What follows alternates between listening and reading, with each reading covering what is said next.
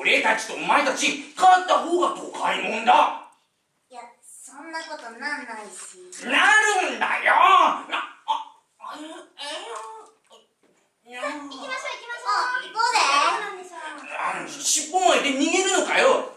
腰抜けやろうっていうかあいつ。初めっから尻尾丸まってるし。ねえ勝負でも何でもやってやろうじゃねえかよ。もうまたモンタ兄さんの悪い癖が。尻尾なんかどうでもいいじゃん。ま長いと便利だけど。ぶっ飛ばしてやる